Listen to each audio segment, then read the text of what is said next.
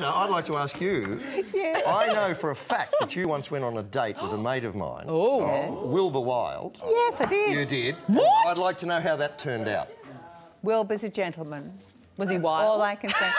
Well, he's very wild, yes, but you know that's Wilbur, and I mean, I know how to tame Wilbur. Oh!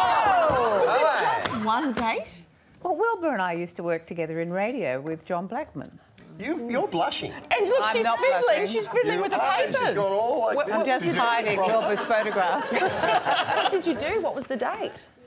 we went to a show and dinner, and you know he romanced me. Did he, did he walk you to the door?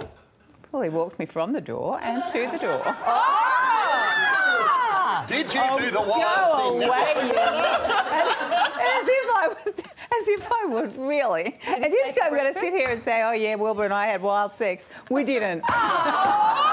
We can cut that in the promo. Or did you Don't have... give them any ideas about the promos. Oh. They're bad enough on their own. Ita, didn't you maybe have tame sex then? Oh. What's tame sex? Well, you guys are only getting Ita's side of the story. Of course, I have the other side of the story. Wilbur is a gentleman. Stays with me. If you are just tuning into Studio 10, uh, you just missed the big announcement that Ita Buttrose and Wilbur Wilde once had sex. Don't go where you wouldn't want to go, Sarah. Oh, careful. I didn't study law for nothing.